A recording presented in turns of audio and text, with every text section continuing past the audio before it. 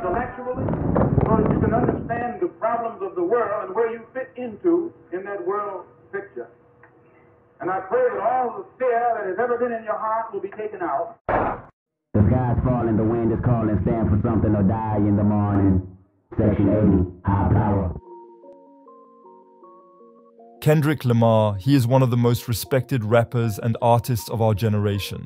Many see him as a savior for the whole rap game, and many others just see him as a goat.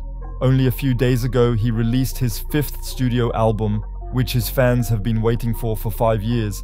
And in keeping with that, I just felt like bringing this documentary here. Because just in my early years as a rap listener, Kendrick played a very important role. Because he is one of the artists who brought me to the new school. This is Kendrick Lamar. Uh. Kendrick Lamar Duckworth was born on June 17, 1987, in Compton, California. His parents lived in the south side of Chicago before he was born, but they packed their things just a few years before Kendrick's birth and fled to California. Since then, there has been an incredible gang violence in Chicago. The gangster disciples were driving the monsters, and that's why they just wanted to get away. After a stopover in San Bernardino, they ended up in Compton, ironically also a district that is haunted by gang violence.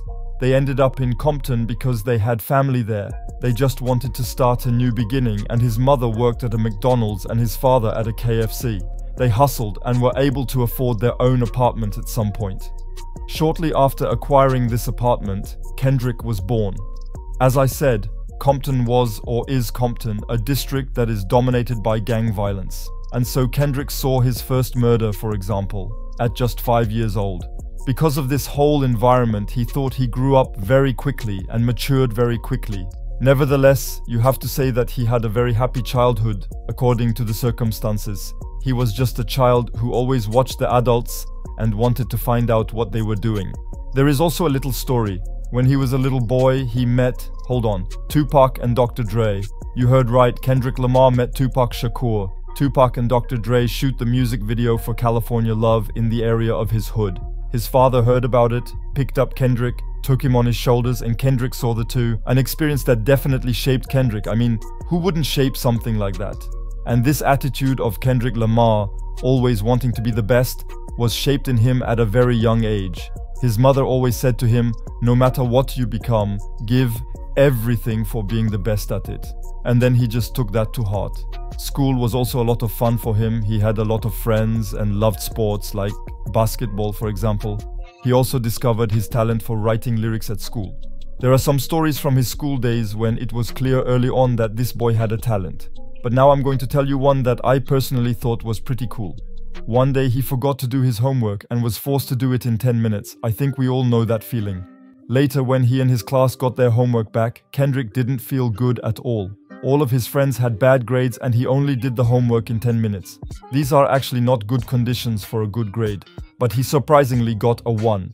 It was clear to him that he just had a talent for writing. At some point, his father gave him a music system. He always listened to Snoop Dogg, Jay Z, or DMX on this. Through these songs, Kendrick simply wrote his own lyrics, and his passion for music and writing lyrics came out of him more and more and more.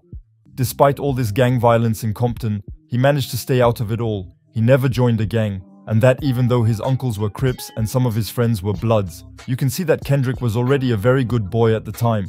Nevertheless, he had problems with the police at the time, and that's just because he came from Compton and was dark skinned.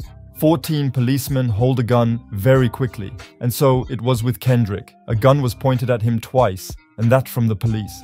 Luckily, nothing happened to him. The hatred that Kendrick felt through all this injustice, he let out in the music. At his school, there were always rap battles during the breaks. And who was right at the front? Kendrick. With the music, he could just let his emotions run free. Yo, creeping to your house, you hear footsteps slowly as I tippy toe. I'm wise like my pops, but I'm young motherfuckers. I'm the one motherfuckers, plus around hustlers. You want it? They can serve you like a butler. And so, in 2003, the first Kendrick Lamar mixtape was dropped. Young is held in charge under the name K Dot. We can give a fuck about your opinion, but it's more than just weed and women, gangsters, hustlers, willing collisions. This tape then had Anthony Tiffith, aka Top Dawg, an image of Kendrick Lamar in it. The former gangster, who has now founded his own label Top Dawg, was very impressed. And so it was no wonder that K Dot was signed at Top Dawg Entertainment, aka TDE. Apparently, Kendrick Lamar freestyled for an entire hour when he was in the studio for the first time. Carried out straight out of Compton, Top Dawg TNT, slash Def getting it in. And shortly after his signing, he moved in with Top Dawg, But now I have to tell you a little side story. You can probably remember, as I said, that Kendrick's father worked at a KFC. And Top Dawg had tried to rob this KFC long before all this music history, while Kendrick Lamar's father was working there. And so the two met before all the fame, and just before Kendrick and Top Dawg even knew each other. Incidentally, it only remained during a robbery attempt. Because Kendrick's father was so charming to Top Dawg that he fired him and simply robbed the store, as I find an incredibly scary story. But well, back to Kendrick. Under TDE, Kendrick released two tapes Training Day, which came out in 2005, They say we only live and die. Imagine if we already dead, waiting to live, living in hell. and C4, which came out in 2009. I'm the best rapper under 25, 24 inches on my ride. Ball like 23, and I shot my first 22 when I was nine. In 2010, K Dot just wanted to get a little more personal. That's why he changed his name. Now, his name was Kendrick Lamar, as we know him today. Under his new name, he released his tape, Overly Dedicated. I personally just celebrate Ignorance is a Bliss from this tape extremely. When I discovered this track for the first time, a few years ago, I was just blown away by the music video and the whole message. But not only I thought so and many others. No, Dr. Dre thought the same way. Dr. Dre became aware of Kendrick through this song. Empathy ain't no love when you in these streets. Just get something, protect your neck, cause they coming for set respect. Split your onion. but I'll go into the relationship of the two a little more in detail. Before the tape Overly Dedicated, Kendrick had several guest appearances with his label colleagues. For example, at Jay Rock, Ab-Soul, or Schoolboy Q. million penises, no homo, fucking faggot. You suck a dick, I'm laughing to the big Bob Saget. C4 even had a rap group called Black Hippy. Then came the year 2011, and here Section 80 was released on iTunes. And this album is just a classic in my eyes. There were just real bangers on this tape. For example, ADHD, High Power, and Blow My High. In my eyes, the three tracks are just classics, which also brought me to the whole new school hip hop movement. Eight doobies to the face, fuck that. Just call it shit high power. After this album, Kendrick was called the new king of the West Coast. There were shoutouts from Dr. Dre, The Game, Snoop Dogg. And yes, as I said, he was now the new king of the West Coast. In 2012, Kendrick signed with Dr. Dre's label Aftermath Records. But that didn't mean that he was no longer with Top Dawg. On the contrary, he stayed true to TDE and was still part of it. His next album was the first album he released under Aftermath Records. Good Kid, Mad City. Again, a heavy classic, which is incredibly important for the hip hop world. The album managed to climb to second place on the Billboard charts. And it almost won a Grammy. Yes, because of this album, Kendrick was nominated for a Grammy. But he didn't win anything, but that doesn't mean anything. After all, he won a lot of Grammys. This album had such heavy tracks on it. Among other things, Swimming Pools, I think almost everyone who watches this video knows this track. It's just a hit song and was also in GTA 5. In this track, the search for alcohol in society is simply thematized. Also on this album were Bitch Don't Kill My Vibe, Poetic Justice, Mad City, and The Backseat Freestyle. All songs that I personally celebrate incredibly. Simply an album that definitely has a case to belong to the all time great albums. And the great thing is, in my eyes, Kendrick has several albums that play in this category.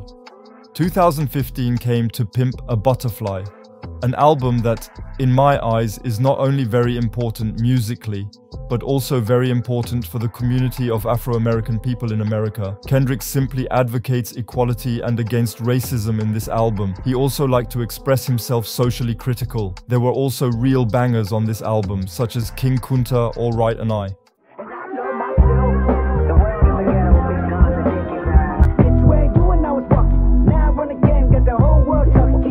It was 2015, and remember, streaming wasn't as big as we know it today. Yes, and the album sets the streaming record. In the first week of release, it generated 9.6 million streams on Spotify, which was incredibly intense for the time. Thanks to this album, Kendrick also won several Grammys. 2016 came Untitled Unmastered, an album that soon dropped out.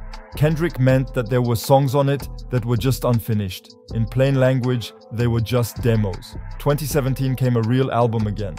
Damn. An album that brought in a few Grammys again. DNA, Love and Loyalty are just a few songs from all the records on this album. And yes, as I said, this album is very intense. In 2018, the soundtrack for the movie Black Panther was released, a movie that I personally really like. And Kendrick produced a large part of this album and was represented on every song. And I think it just shows again what kind of stand Kendrick has in the Afro American community. Because in my eyes, the movie simply symbolizes the strength and beauty of Africa. And I think a lot of people think the same way. And that Kendrick was just so actively involved in the process for all the music in the movie just shows how much he is simply committed to the Afro American community and in general to equality. It is also no secret that Kendrick is simply committed to the people of Africa on site. Right now, when I'm recording this video, he's in Ghana, for example, and just plays football with kids, and I just think for his standing, the guy is simply a goat of our generation. It was the same with Tupac back then. He committed himself incredibly for the community and simply fought against oppression. And Kendrick does something very similar in my eyes. A few days ago, I think you all noticed, the new Kendrick album came out. Mr. Morale and the Big Steppers. An album that is definitely not tailored for the general public. I think you have to give the album time. And yes, I myself only listened to the album once and have to give it to myself a few more times so that I can really feel it. In my eyes, Kendrick is simply an incredibly valuable artist for our generation. As I said, just for what he does for the community, but also for his diversity. I think his albums are all different. He is incredibly varied. A little fun fact at the end for those who didn't know Kendrick Lamar is the cousin of Baby Keem. Baby Keem is a rapper, I think many of you know him, and from Nick Young. Nick Young is a former NBA basketball player. Well guys, that's it with this video. I hope you enjoyed this documentary. Kendrick is very close to my heart. Because as I said, he just brought me to new school hip hop. Better said, among other things, he brought me to it. Well guys, as I said, I hope you enjoyed the video. We'll see you. Take care. Until next time, ciao ciao.